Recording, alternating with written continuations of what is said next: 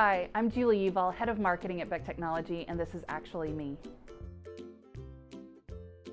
I did not date Can Yaman, however, that would be a lovely rumor if anyone wanted to start it. Absolutely not. I, I like the guy I married, he's pretty cool.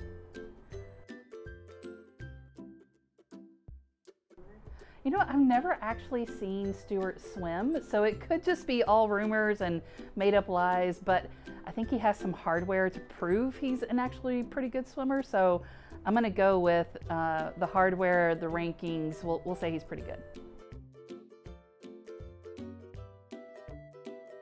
See, that's tough because I, whew, probably to work from a yacht for the next 20 years. The thing is, I, am going to throw in a caveat here, is I thrive in a team environment. So I'm to have to bring the Beck Tech team with me on the yacht, which sounds like a good party. Uh, there's actually quite a few rewarding parts of my job. One of the things I love is seeing the team excel and succeed in their careers and what they're doing. Um, I also love whenever our customers succeed and they have win announcements and they're killing it from a pre-construction standpoint and just seeing all the very awesome, cool projects that they're building and developing um, in our infrastructure of a country. Um, it's not true that the marketing team gets off for my birthday.